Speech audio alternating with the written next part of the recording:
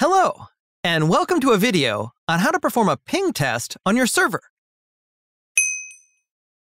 A ping test allows you to check the latency between your computer and the dedicated server address. It is required to make sure you have a low latency to have the best possible gameplay experience. In this guide, I will show you how this can be checked in a matter of minutes.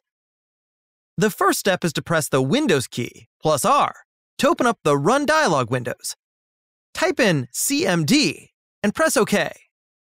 Type in ping, followed by your server IP address without the port.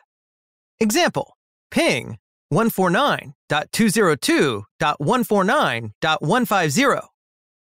Take note of the response time from these ping tests, as anything below 100 milliseconds or lower is considered perfectly fine for optimal gameplay. Just in case this video is not fully explained, I have also put a link in the description to the ScalaCube website to the same guide explaining the same method, step by step, with images. That is all from me today. Have a nice day. Goodbye.